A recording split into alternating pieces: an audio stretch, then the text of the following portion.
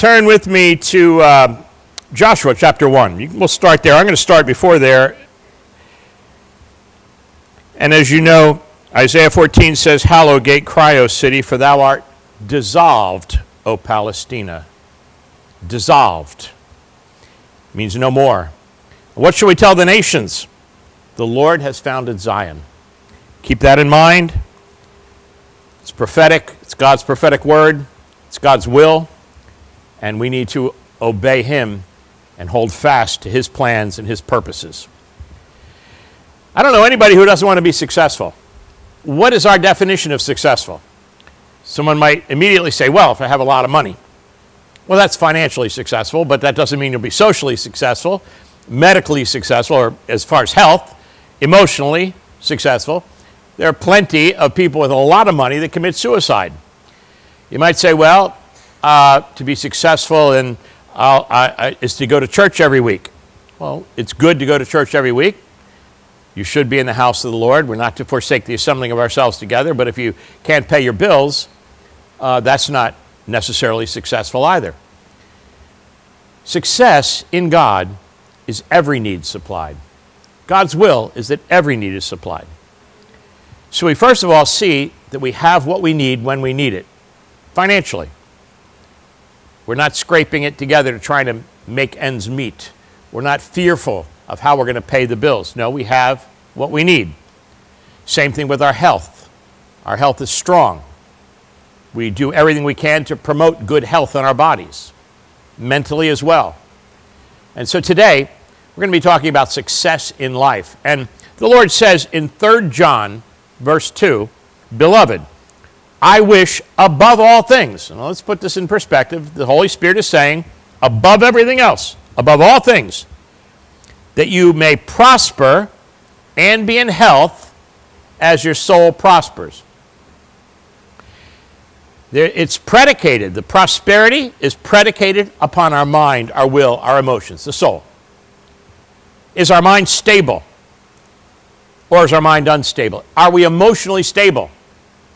Or are we up and down and all around? The Word of God says we should have the mind of Christ. Jesus was not an emotional wreck. Jesus was not up one day and down the next. He was stable, emotionally, stable mentally. And we are to grapple with that in our lives to establish the stability of Christ in our minds, for we have the mind of Christ. And we've not received the spirit of fear, but love, of power, and a sound mind. Sound means it doesn't go to pieces. We don't cave. We don't fall apart at the first bad news that comes our way. Psalm 112 says, I'll not be afraid of evil tidings. My heart is fixed, trusting in the Lord. Which, if we reverse, if our heart is not fixed, we're afraid of evil tidings. If we cave and crash and burn because of evil tidings, our heart's not fixed, trusting in the Lord. I'll not be afraid of evil tidings. That's worry, that's fear. That's going to hinder our, our prospering. Now, success in life, we'll go back to Joshua now. What does it say there? Joshua 1 8, one of my favorite scriptures, as I tell you, all my scriptures are favorite scriptures. This book of the law shall not depart out of your mouth. Book of the law means law. And by the way, we're coming up to November, and we're going to be coming up to elections, and I don't want you to vote Democrat or Republican. We should not be voting party. We should be no- voting God's word. And it begins here with law. There is law in God's Word, this book of the law. So we want, we want people in power that obey the law and that adhere to the law and keep the law. We don't want lawlessness at the highest levels. This book of the law shall not depart out of your mouth. We should be speaking the Word of God. Good times, bad times, prayer times, other times speaking the Word of God, speaking the promises of God, speaking the love of God. How many words, if we were to categorize our words on a daily basis, how many words do we speak on a daily basis? All right, guys, we'll start with you because you speak a lot less words, and so it's easier to categorize the guys' words. We just have a few words each day. Ladies, that's a different story. I think, wasn't it one of the apostle writers who said if we should write all the things that Jesus did, the world wouldn't be able to contain enough books? Well, think about that in terms of speaking. And we, we tend, guys tend to not speak a whole lot. Ladies, anybody who's been married more than you know a day or so, you know that. You We have things to say. yeah, yeah, that's right. We have many things to say. Yeah, many. Operative word is many, many things to say. And we have some things to hear. So that's why most of our speaking is uh huh, uh huh, uh huh. Guys, we have that phrase cornered. Uh huh, uh huh. And you can always say uh huh without hearing a word, can't you? I mean, just, you know, that's, it's like the, the Peanuts cartoons. You hear in the background, wah, wah, wah, wah, wah, wah, and all you do is say, uh huh, uh huh, uh huh. Anyway, this book of the law shall not depart out of your mouth. In a day, how many of our words are we speaking the word of God? From when we wake up in the morning, the first words we say to when we go to bed at night. How many of our words? 1%? 2%? 10%? Are we speaking the words of the world? Because listen, the world wants us to speak like them. They're constantly bombarding us with things, especially bad news. They're always bombarding us with bad news. The 24 hour news cycle would not sell if bad stuff didn't happen, would it? People want to hear about bad stuff. People want to talk about bad stuff. Oh, did you hear what's going on? You know, someone asked me the other day, does it look to you, does it appear to you like there are more natural disasters than ever before? And I said, no. It's just that we're aware of them all over the world. Before, we weren't aware of them. We didn't know what's happening over on the other side of the world. You know, in fact, one of our tribes here, I, am not sure which tribe it was, one of the Native American tribes here in South Carolina got totally wiped out because they saw the traders coming over and they would be trading, you know, their stuff and, the, the, and they would be giving them, you know, whatever, whatever their furs or something from here. And they, they're smart and they realized these guys in the ships are the middlemen. We should just take our stuff wherever they came from and sell it ourselves and make more money. So the whole tribe got into their canoes and headed out into the Atlantic right into a hurricane. And the entire tribe was wiped out. I can't remember which tribe it was. Somebody might remember that if you studied history of South Carolina. Maybe it was the Pee Dee, something like that. Anyway, they didn't have a clue that there was a hurricane. In fact, it, it, that happened in uh, the Revolutionary War. I can't remember. I think it was the French fleet was wiped out down on the islands. They were, you know, fighting. Maybe it was the British fleet. British fleet. Hmm? The which ones? Sewee. Okay, out of trust. Thank you. So I knew somebody would know it, but you didn't really know it. You looked it up online, didn't you? I know you. Sits there and, and gives us like, like it's coming out of the computer brain. No, it's coming out of the computer fingers there, but thank you. Thank you. You know, you know, and, and I understand that in the last uh, debate there were fact checkers there that were only checking half the facts, but I live with a fact checker. Okay, so I, you know, I know what it's like because you know, you know, you know what it's like to walk off the pulpit and you just think, man, I nailed it. I had, oh, the anointing was there, and then you hear something that you said wrong. The fact checker says, you know, and it's usually one of my stories too. You know, when you used to tell that story, that didn't happen like that. When you used to tell that story, it had a different ending.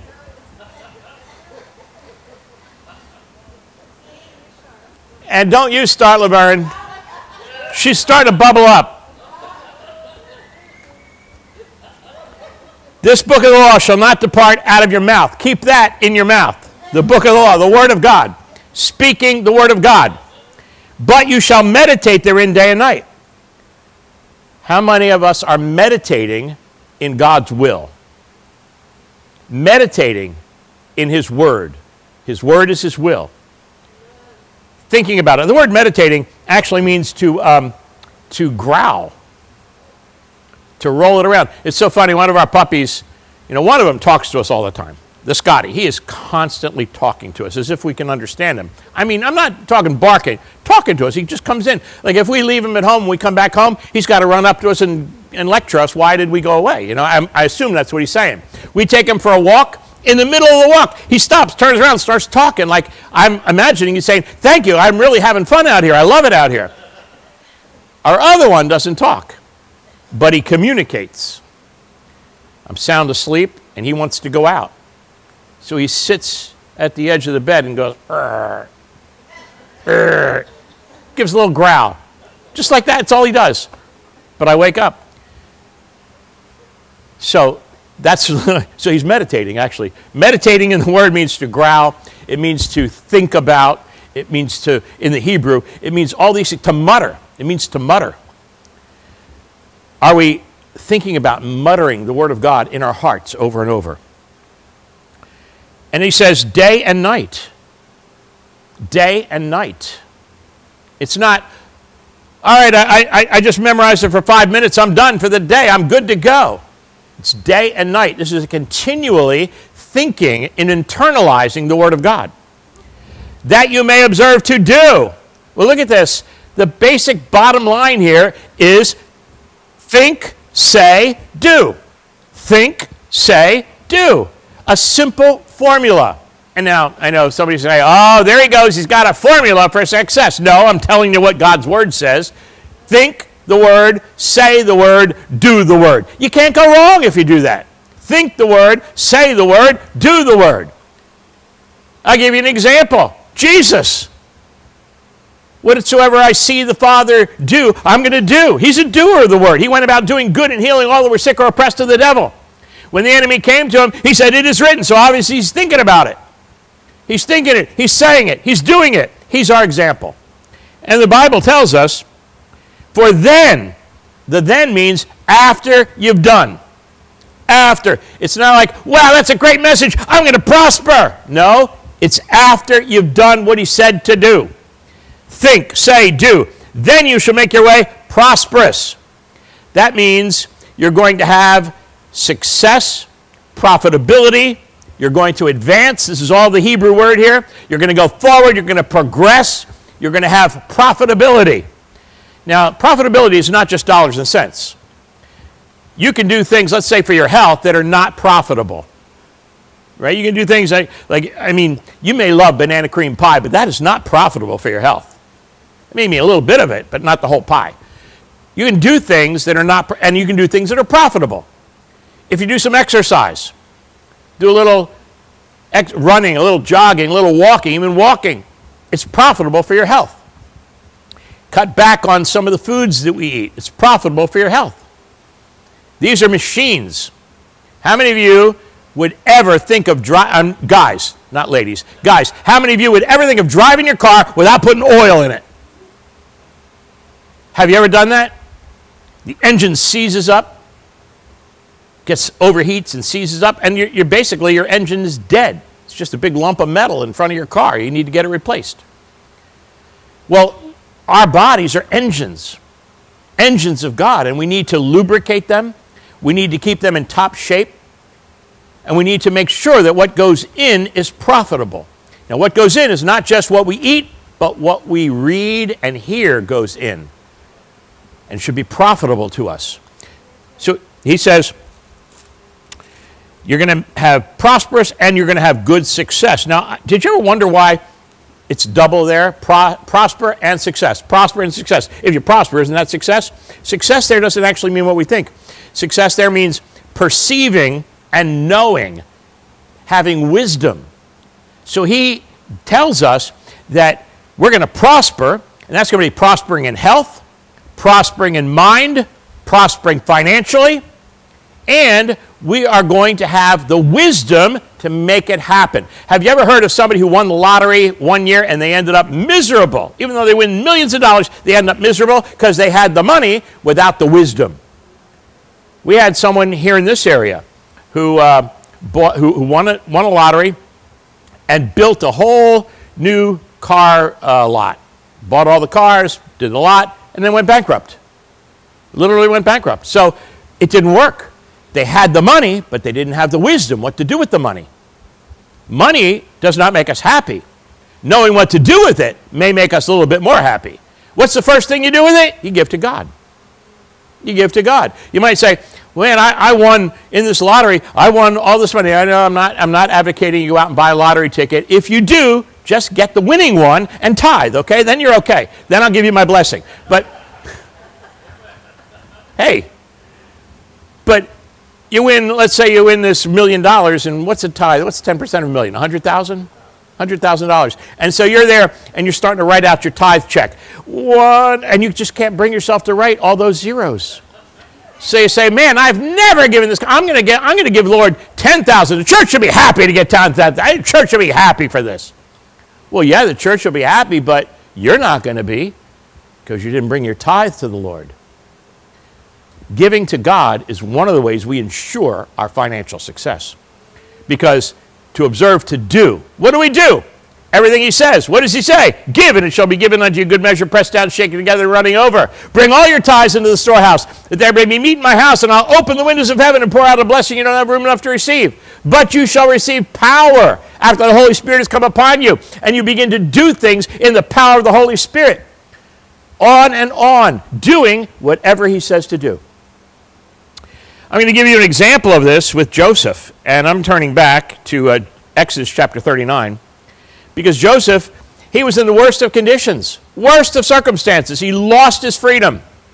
He's sold into slavery. He does not own himself any longer.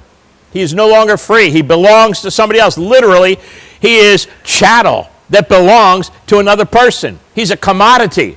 That person can take him and sell him to somebody else.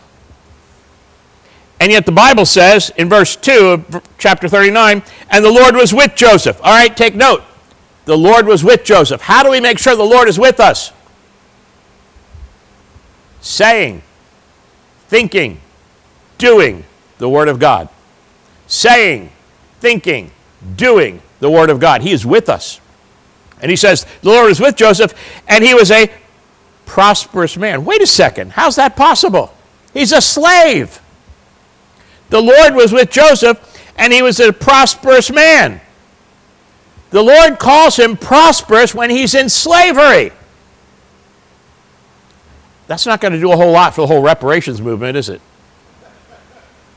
He calls him prosperous when he's in slavery. He's a slave. He was just bought by this guy, and the Lord says he's prosperous.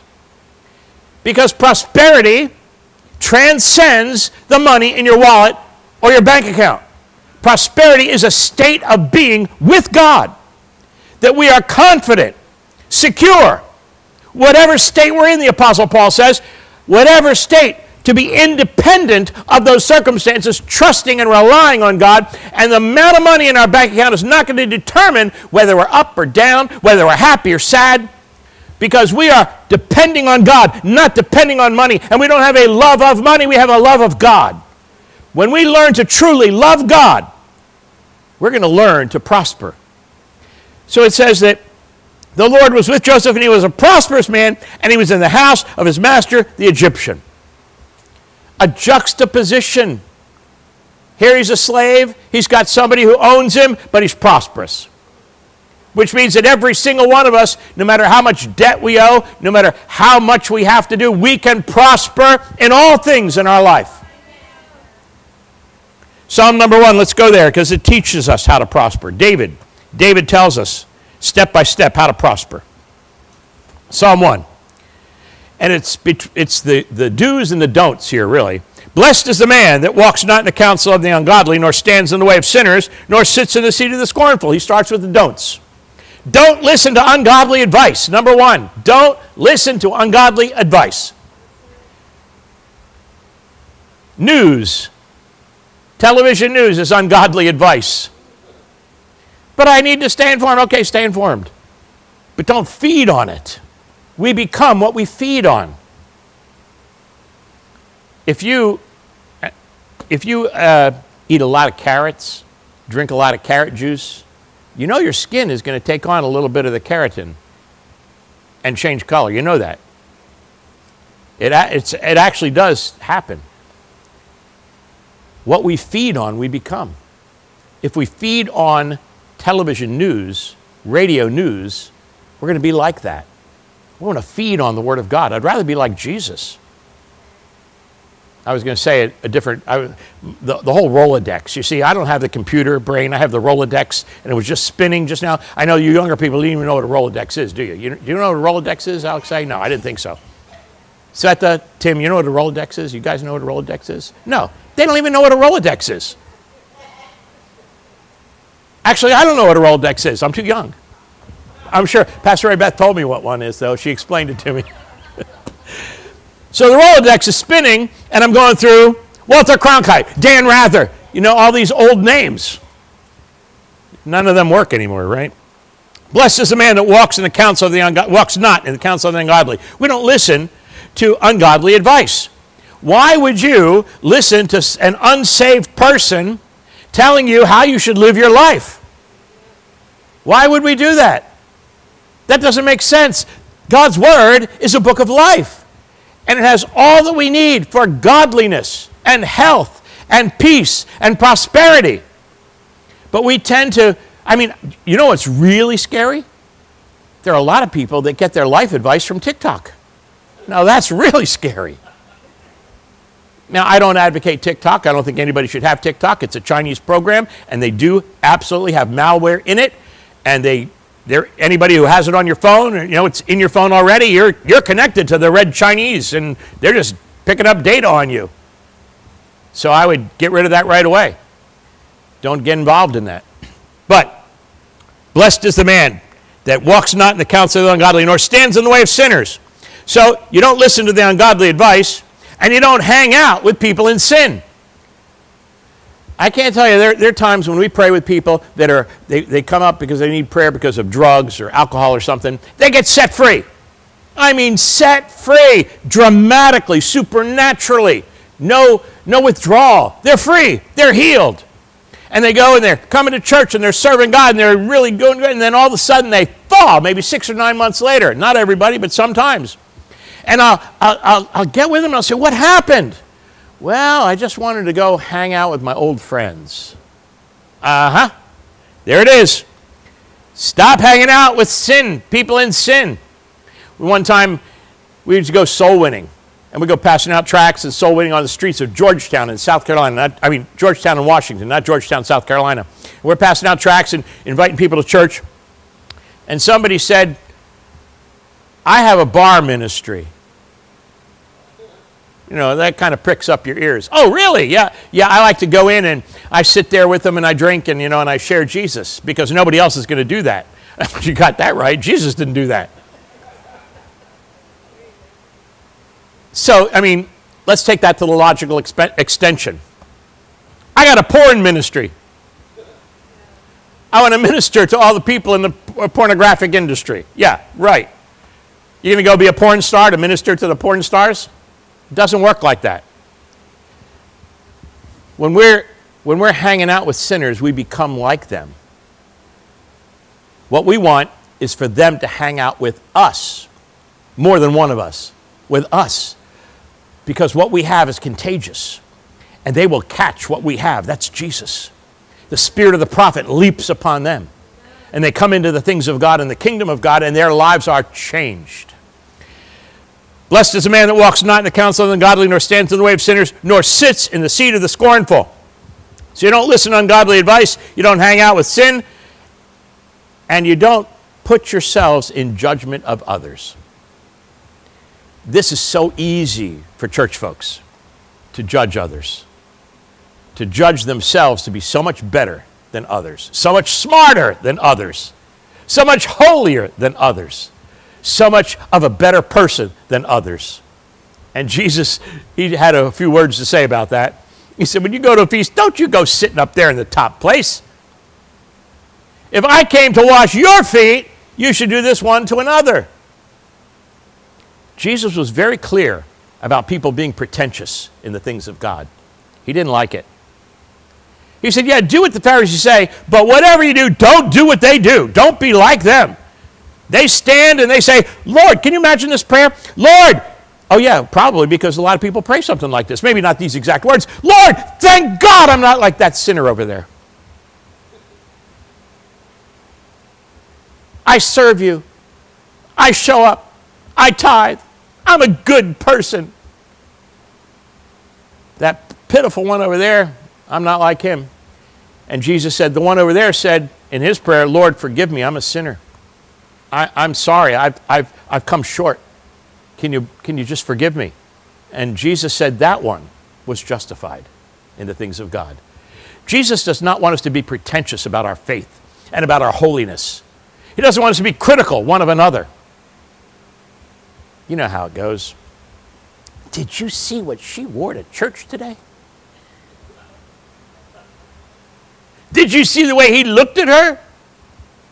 And we're so judgmental of one another. Jesus says, I mean, the Bible says, not sit in the seat of the scornful. Let's not scorn one another. And certainly not the world. We can't expect the world to be like us until they are us. They're going to be the world. We're in the world, but we're not of the world. And the, the Lord leaves us here until He returns for us to affect them, not scorn them. But His delight is in the law of the Lord. Okay, um, the Rolodex just turned again. And I was going to say something about tattoos, but I decided not to. But there was a you know there's strip strip clubs here in the in the community and there was one famous one years ago. And they all have comedians and they have music. They have it's like a burlesque show. They have other stuff. And so there was a comedian, famous comedian. He was a comedian in Las Vegas, comedian in Miami, a comedian here. And uh, of course, dirty, all these dirty jokes all the golfers would come in to them. Anyway, um, I got a call from his sister one time. His sister was in North Carolina, lived in North Carolina, and said, uh, Can you, they didn't know us, she didn't know us, she just knew we were at church. Can you go and pray for my brother? He's dying of cirrhosis of the liver in the hospital. I said, Sure. Tell me what hospital, tell me his name. And she said, And he's the comedian at this club. I said, Okay. She said, Really? You'll go? I said, Sure. She said, You're the fourth church I called. The first three wouldn't go. I said, Well, I mean, isn't this what we expect? We don't expect everybody to be saved, right? We expect sinners to be sinners, and we'll go pray for him. So when prayed, he got healed. His, his uh, liver got healed, started functioning, got healed. He got released from the hospital. So now you have this comedian released from the hospital, and he's under a two year contract, and he's coming to church.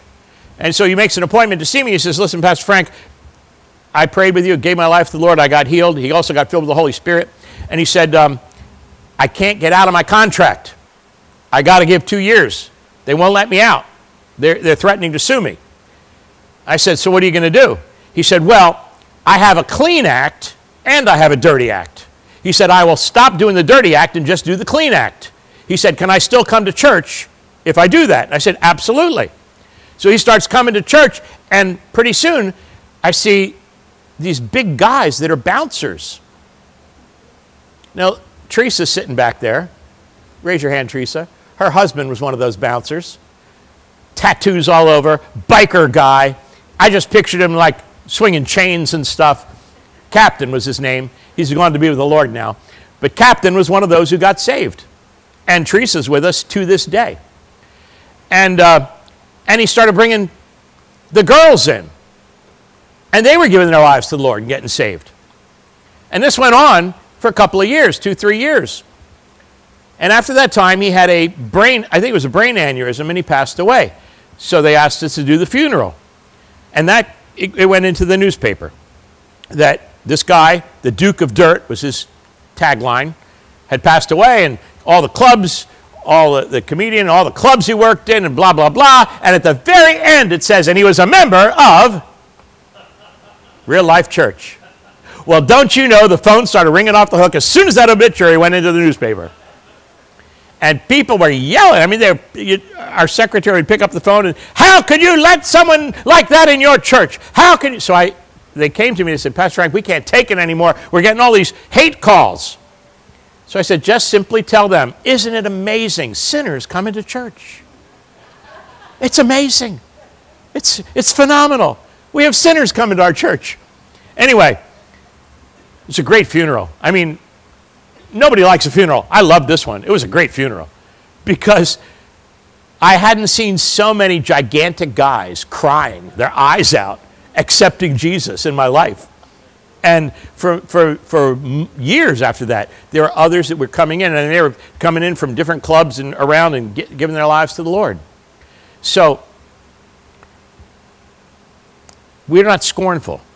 We welcome, but we give them hope, something to change their life. Verse 2 says, But his delight is in the law of the Lord. There it is again, the law. The law. Now we know he's referring to the Torah, which is the law of Moses, but God is a God of law and order. God is a God who of law and order.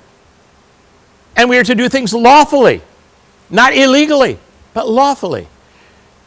I say that and I chuckle on the inside that none of you are ever watching me when I drive, but lawfully, not illegally. I commit, I'll try to be better. Last time we were in Italy, I was driving on the sidewalk. I'll try not to do that again. I promise. It's a true story. But it's, and pass, oh, the people on the sidewalk are like jumping out of the way and yelling at me. I couldn't get off the sidewalk. It had these chains on both sides, and I couldn't find a way to get, get off the sidewalk. We, we in the car, your family, told you you're on the sidewalk. Yes, I know. I knew I was on the sidewalk. I was just pretending I wasn't. But his delight is in the law of the Lord. Let's get back to the Word of God. And in his law does he meditate day and night. Not in my driving on the sidewalk, but in his law does he meditate day and night. There it is again, meditating in the Word of God. And look what the result is. He shall be like a tree planted by the rivers of water that brings forth fruit in his season. His leaf shall not wither whatsoever he does shall prosper. There's the promise again. We're not going to get brown and dry up. We're going to prosper. Our leaf will not fall. We're going to stay green. We're going to have an unseen source, that river of life that gives us life. And whatever we touch will have life. We will prosper financially, prosper spiritually, prosper physically, mentally, and emotionally. Our relationships will prosper spiritually we'll know things and hear things and see things that others don't as we move into the Spirit in a greater capacity. We delight in the Word of God. So the do's, I did the don'ts. Do, delight in the Word of God. Do we delight in the Word of God? Do we love to hear the Word of God, love to speak the Word of God, pray the Word of God, meditate in the Word of God? Do, meditate.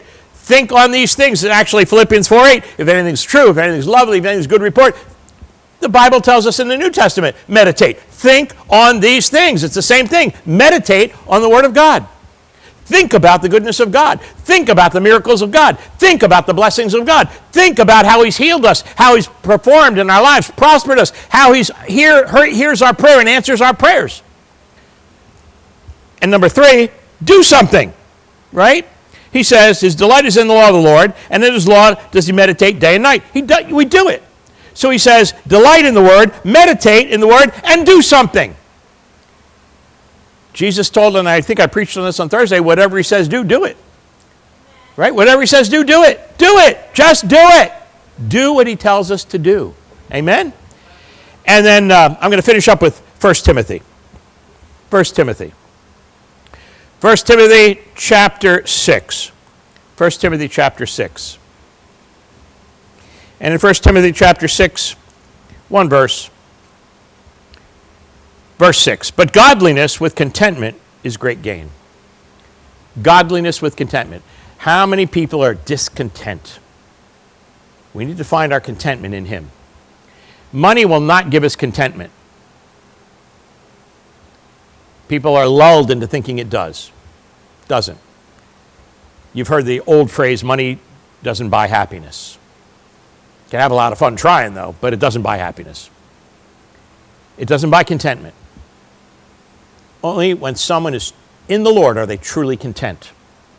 Content means trusting God, knowing our needs are supplied, believing for more in Him, believing that we prosper, seeing us prosper, knowing that even when there's a critical situation, He meets our need.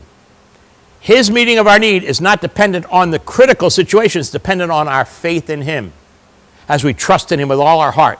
Lean not to our own understanding. He will establish our path. He will make a way. When there is no way, He'll make a way. It may be like a desert, He'll make a way in the desert. It may be like we're floods of water, He'll make a path in the water.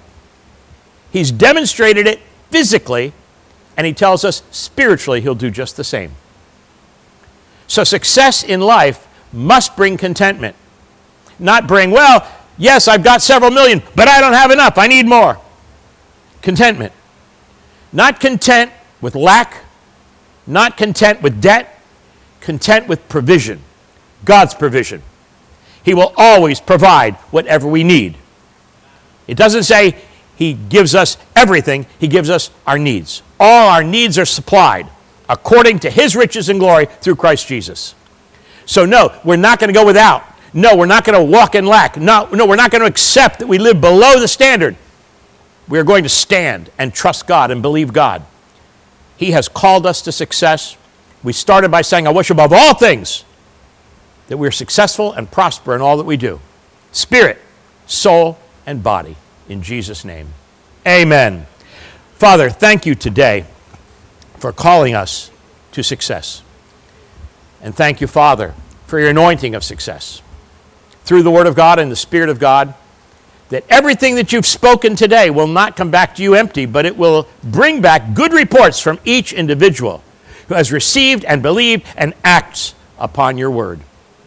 Thank you for prospering us spiritually, mentally, and emotionally, and prospering us financially, prospering us physically. That we have more than enough, overflowing as you are. In Jesus' name, amen.